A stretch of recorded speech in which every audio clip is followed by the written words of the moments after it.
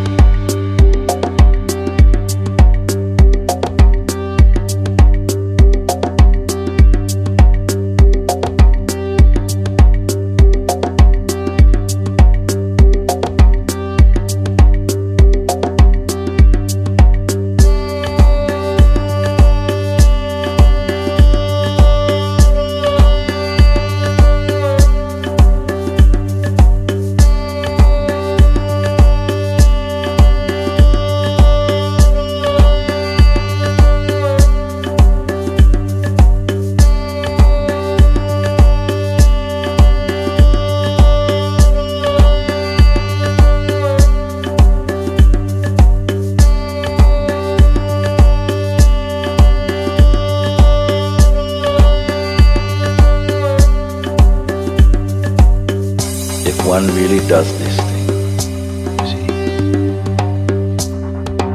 then God leave you only with your eyes of perception.